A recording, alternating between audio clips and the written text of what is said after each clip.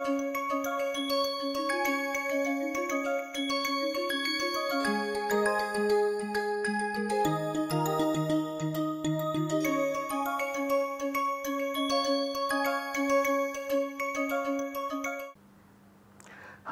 everyone.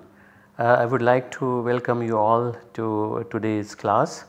Uh, we will briefly look at what we did in the last class and then uh, proceed further with the remaining um, part of the lectures. What we did discuss was the uh, chemistry of vinyl silanes and we, uh, we saw that the vinyl silanes react more or less um, in a similar fashion like allyl silanes where the emphasis was on the uh, beta uh, carbocation stability. And uh, we also looked at the um, retention of the uh, configuration of the double bond if uh, the uh, well defined uh, double bond is reacted with an electrophile such as here. So, we have is MECO plus as the um, electrophile that one can expect to form and this then retains the same position as the carbon silicon bond.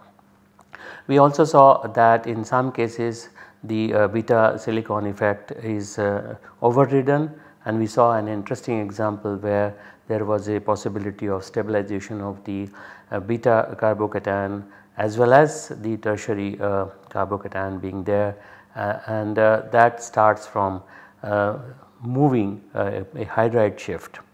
Then we also saw the Nazarov cyclization. In the Nazarov cyclization we saw how the regiochemistry of cyclization is uh, basically dictated by the silicon group. So, we, we, saw various aspects of the vinyl silane chemistry and of course we uh, see that intramolecular cyclizations also uh, take place where the double bond uh, that holds uh, the silicon uh, actually allows the cyclization to take place on the same carbon as the uh, carbon that holds the silicon. So now we look at some other aspect of it which is called Peterson olefination although it is not directly CC bond forming reaction but it is uh, interesting silicon based chemistry. For example if we start a molecule like this which is uh, beta silanol alpha and beta uh, and which is a threo uh, configured compound and if we treat with potassium hydride then there is an elimination that uh, follows a syn path to lead to the formation of the E isomer. On the other hand, if we treat this threo molecule with a BF3 etherate, then it undergoes an anti-elimination uh, to form the Z isomer as the major product. So it is a highly stereospecific reaction, one under basic condition and the other under acidic or Lewis acidic condition. Now how does this reaction occur? So if we take uh, any beta silanol uh, group like this here in which we have uh, the O minus to be formed upon treatment with a base then we can invoke the formation of a four membered intermediate of this kind where of course now silicon forms uh, silicon oxygen bond and therefore it is pentacoordinated which is also now known this kind of molecule is also known as 1,2-oxasiletanide then this can undergo a cleavage of the silicon carbon bond to make an anion. Of course there will be slight interaction with the carbon silicon bond in order for the stereo specificity to uh, retain and then this undergoes a cleavage of this kind where carbon carbon bond is formed and of course trimethyl silyl or trialkyl silyl oxide comes off alternatively with the same four membered intermediate can be uh, taken up and can be allowed to undergo a concerted uh, cleavage in this fashion to lead to the formation of the corresponding olefin. Now obviously this involves a 1-3 shift of the silyl group. That means from here 1 to 3 the silyl group has shifted from 1 to the third position. Now how we can look at this particular threo compound going to this E isomer uh, based on this kind of mechanism? We can take the starting threo compound as an anion of this kind here. Now if we uh, rotate the entire molecule in such a fashion out of the plane towards us in such a way that the carbon silicon and the carbon oxygen bonds which are going backside they come into the plane. So if that happens then the hydrogen which is here which is coming towards us now comes into the plane and the C3H7 which is in the plane goes backside. And similarly the uh, C3H7 which was into the plane now because we are rotating towards us in out of the plane therefore it's coming towards us. And of course the hydrogen which is coming towards us now goes backside. So why we are doing it is basically to make sure that the carbon silicon and carbon oxygen bonds are in the plane to view properly that now it leads to the formation of a four member intermediate which then eventually breaks to form the corresponding double bond now if the double bond forms it between these two carbons then you can see that this hydrogen and this hydrogen are away from each other and this C3H7 and this C3H7 groups are also away from each other leading to the formation of the E isomer. So this is how the base uh, mediated reaction occurs. Now how does the BF3 etherate lead to the formation of Z isomer that now we need to understand. Now what is happening in this case is is uh, that we need an anti-elimination to take place. Now what is uh, happening here is when you have stereochemistry of the uh, molecule written like this then you have C3H7 here and uh, C3H7 here and uh, OH group which is now going to be uh, reacting with the BF3 and H and of course positive charge here and the negative charge on the boron and then of course you have hydrogen here.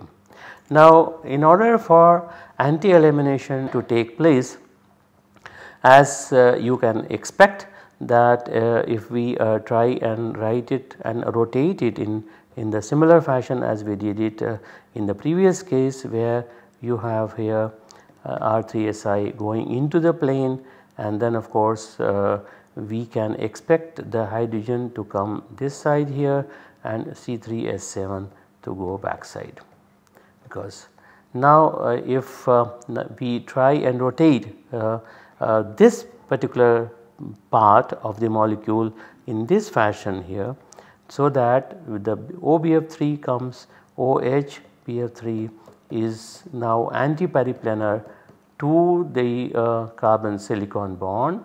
Then what will happen is um, the um, uh, C3H7 will go backside. And of course hydrogen will come towards us up towards up.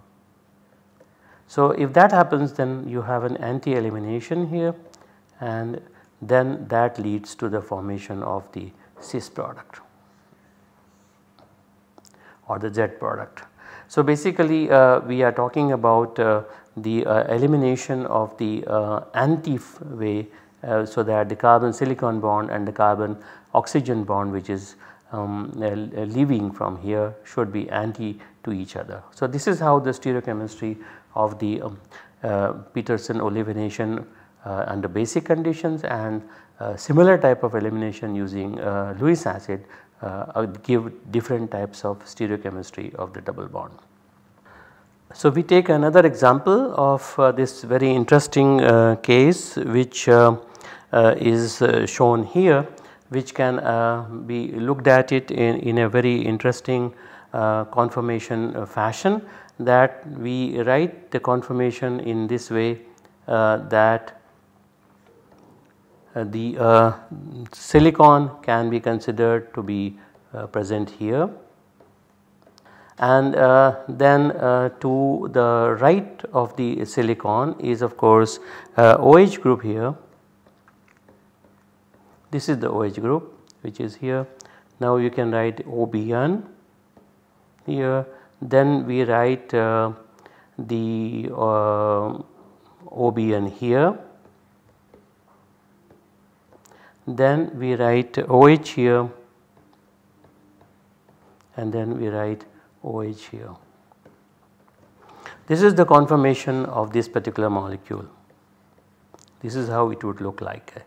So, uh, if uh, we consider that uh, we react it with uh, sulfuric acid then of course you have uh, the uh, proper orientation of the um, of the OH group and the silicon being antiperiplanar to each other and that leads to the elimination of this particular OH group and the silicon leading to the formation of say we write uh, in, in this fashion then we can say that we have a double bond here then OH group is here then of course OBN is here and then you have OBN group here and the OH group is here. So, um, if uh, we uh, try and uh, look at this particular molecule and this molecule they are similar. So, this OH this double bond is here, this double bond is here, this OH group is here, this is beta oriented, then OBN is alpha oriented, then this OBN is beta oriented and this OH is alpha oriented. This is how it is. Uh, now if we try and look at the uh, other uh, aspect of it then we can say that under basic conditions uh, it undergoes syn elimination. So uh, you can um, expect that uh, these two, these two being syn to each other because one is axial, this one is axial, this is equatorial. So they are syn to each other. So the elimination would give this particular product. So this is how the uh, eliminations are designed uh, in such a way that under acidic condition it gives uh, uh elimination of uh, the um, anti-type whereas under basic conditions the elimination leads to syn type of elimination. Uh, if we look at the, um, the formation of alpha silyl carbanion uh, next to the silicon then of course uh, we can expect that if we react uh, a substrate uh, of this kind here where there is an anion next to the silicon having a carbon atom there can react with the carbonyl group and it adds to the carbonyl group to form this um, beta silanol and that undergoes uh, elimination in the same fashion as we discussed which is called Peterson olefination using uh, HF pyridine. So, HF pyridine is nothing but it is a source of H plus uh, and of course uh, F minus uh, in the presence of a base like pyridine. So, uh, what does it do is, is protonates the oxygen here. So, protonation of the oxygen takes place here and a positive charge is generated here F minus picks up the proton from here uh, sorry silicon from here and then elimination occurs in this fashion to form this particular product with a double bond being here. Now uh, in a similar fashion if we take um, uh, the uh, anion alpha to the silicon in this substrate where the negative charge is next to the two sulfurs that can also add to this and, and can generate after the uh, Peterson olefination uh, we can expect uh, to form a double bond of this kind. Now this obviously as you can see that is happening because of the uh, formation of an intermediate of this kind here. You have an O minus and then you have here uh, silicon and of course sulfur in this particular fashion. And then you have elimination of this kind. And that leads to the formation of the double bond. And this can be hydrolyzed in the presence of mercury chloride and trifluoroacetic acid where the first thing that happens is of course uh, the uh, protonation of the double bond that uh, forms the um, intermediate of this kind where the protonation has happened uh, because the trifluoroacetic acid is used. So, you have a lone pair of electron here that gives the protonation the proton reacting with this and you generate positive charge here and of course CF3 CO2 minus. This of course then undergoes uh, hydrolysis in the presence of mercury chloride and water. So, I suggest that uh, you write the uh, mechanism of this reaction and then we will discuss it in the um, subsequent classes where we take question and answer. Basically what is happening is the water will attack it here. You can write down stepwise mechanism also it aids that the mercury chloride which is soft in nature reacts with the sulfur here also. So, based on that the mechanism leads to the formation of the corresponding acid. So, I would suggest that you uh, work out the mechanism which we will discuss it in our question answer session. Now, if you look at the stability of the carbanions, uh, uh, we can uh, say that alpha silyl carbanions of this kind are more stable than the uh, normal carbon ion here. Uh, that is what we have used in the formation of the, the corresponding Peterson olefination type of products. Now uh, carbanions with an alpha silicon group are more stable than the carbon analogues. Uh, silicon exerts a weak positive uh, inductive effect through the sigma framework. So if it is a if it is induces electron density then one would expect that it should be uh, destabilizing the carbon um, uh, silicon uh, the anion at the carbon atom holding the silicon. But that is overridden for several different reasons and the positive inductive effect of the silicon uh, gets uh, nullified by several factors. One of the things is that the empty 3d or atomic orbital on silicon such as this here uh, allows uh, p pi d pi bonding with the filled sp3 um, or atomic orbitals on the carbon anion. So, there is a nice overlap as you can see it here uh, which allows the uh, the stabilization of the negative charge. Second is that there is an overlap between the filled sigma orbital this is the filled, filled sigma orbital of the metal carbon bond and the unfilled uh, this particular uh, sigma star carbon silicon orbital uh, overlap allows uh, overlap here allows the stabilization of the negative charge. Plus in addition to that there is a uh, coefficients of the orbitals if you see there is a large coefficient on the silicon atom and that further allows the overlap uh, in a positive way. So these are the factors which allow the stabilization of a carbanion onto the um, uh, carbon that holds the silicon or alpha silyl carbanions are stabilized.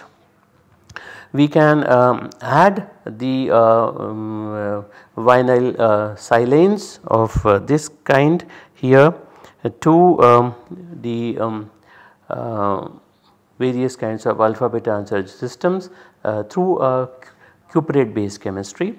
So, we can have a conjugate addition of this type of uh, uh, copper based uh, reagents which allow the formation of the vinyl silane with of course the 1,4 addition to the enone. Now what is the use of it? The use of it is that if you um, um uh, epoxidize this uh, vinyl silane we can get the corresponding vinyl uh, this epoxy silanes. We discussed uh, epoxidation earlier of the allyl silane also. Now if we uh, allow the reaction of such epoxy silanes in the presence of uh, uh, protonated water then uh, one gets this, this particular diketone of this kind. So this is something that is very interesting. We will we'll look at the, the mechanism that allows the formation of this ketone. Now as you can see that the carbon that holds the silicon that is the carbon that gets the carbonyl group. This is something which is quite interesting. So what are the reactions of these uh, epoxy? So if we start with this uh, simple substrate like this vinyl silane make the corresponding epoxy silane then in the presence of uh, acid when the water reacts uh, it could one possibility is that this opens up here and the water attacks um, to this position and forms the 1 2 diol which again undergoes protonation here to form uh, something of this sort which then of course um, loses carbon silicon bond here with the nucleophile uh, like water or methanol whatever is present in the reaction medium attacking onto this uh, leading to eventually the formation of this enol like this. And this can then uh, uh, enolize uh, this enol can ketonize and form the corresponding ketone. So that is how the, the ketone comes onto the same carbon where like a silicon. This can also be written up in a slightly different way that is uh, we can start with uh, the uh, protonation directly uh, on the uh, epoxide oxygen and one can think about the cleaving of the carbon silicon bond like this. So, you have a nucleophile or say water adds on to this and then of course we can directly uh, put it in this fashion that leads to the formation of um, enol which is going to be like this and uh, of course you will also get Me3 SiOH and this is the enol that leads to the formation of the corresponding ketone. This is also possible and this has been discussed by, by Gilbert Stork in his paper in 1971. The uh, other reaction of the uh, epoxysilane is that you can react uh, this kind of epoxysilane with HBr and uh, when HBr gets uh, mm, uh, reacted with the epoxide it opens up to give um, this type of intermediate where the bromide has attacked onto this and protonated epoxide opens up to form this intermediate. So, this is attacking from the alpha side from the lower side and this goes to the beta side that is opposite side that is how the stereochemistry of this and this are opposite to each other. Now um, uh, if in order for the reaction to occur um, in a uh, anti fashion that is anti elimination to take place under acidic conditions what you need is is the carbon oxygen bond here and the carbon silicon bond to be anti to each other. So, what you need to do is to rotate it in this fashion here and once you rotate it you will get the uh, let the OH be as it is as it is. Now the carbon silicon bond which is pointing upward is rotated in such a fashion it goes into the plane below. In that situation then the bromine goes up uh, backside and the hydrogen comes towards us.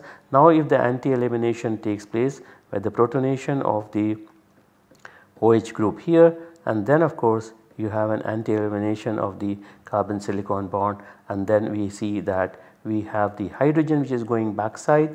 This hydrogen is coming towards us side and therefore an E olefin is formed. And now this reaction occurs in this fashion that first the bromine uh, reacts with it with the silicon uh, forming this kind of pentavalent uh, silicate and then there is a transfer of the uh, silicon bromine uh, bond gets transferred to the carbon uh, bromine bond and then we get the product somewhat, somewhat like this and that leads to the formation of the epoxide this double bond. Now likewise if we start with the uh, stereochemistry of the silicon being opposed different from what it is here then of course we will get the corresponding Z olefin. So uh, we would uh, like to stop it at this stage um, uh, and uh, see uh, what we can do in the next class. till then take care and go through the class note that I have discussed and we will take up the question answer uh, when there is a session dealing with the question answer is there and then we can clarify the doubts uh, that, that you may have. Thank you and take care.